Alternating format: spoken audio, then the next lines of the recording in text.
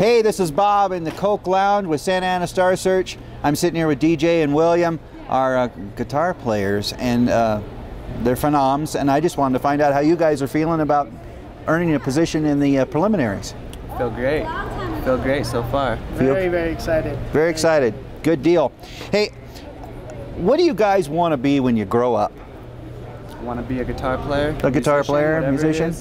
Is. Whatever it is, anything with music that I can make a living is what I want to do. I just want to share, you know, share our talent with the world. And if we become, you know, millionaires or if we're starving, as long as I'm sharing the talent with people and teaching, whatever, as long as it has to do with music, you know, I'll be happy. That's great.